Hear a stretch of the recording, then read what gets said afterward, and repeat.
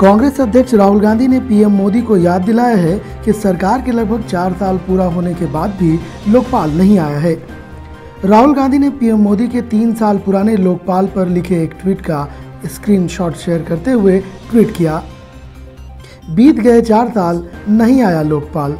जनता पूछे एक सवाल, कब तक बजाओगे झूठी ताल? भीमा कोरे कोरेगांव में हुई हिंसा को लेकर मुख्यमंत्री देवेंद्र फडणवीस ने बॉम्बे हाईकोर्ट के मुख्य न्यायाधीश से मुलाकात की। सीएम फडणवीस ने हाईकोर्ट के मुख्य न्यायाधीश को एक पत्र सौंपा और इस मामले की जाँच के लिए जज नियुक्त करने का आग्रह किया। तीन तलाक बिल के राज्यसभा से पास नहीं होने पर बीजेपी के आरोपों का कांग्रेस नेता गुलाम नबी आज़ाद ने जवाब दिया है। उन्होंने कहा कि कांग्रेस पार्टी बिल के समर्थन में है, लेकिन बिल के कुछ प्रावधान आपत्तिजनक हैं और पार्टी उसमें संशोधन चाहती है।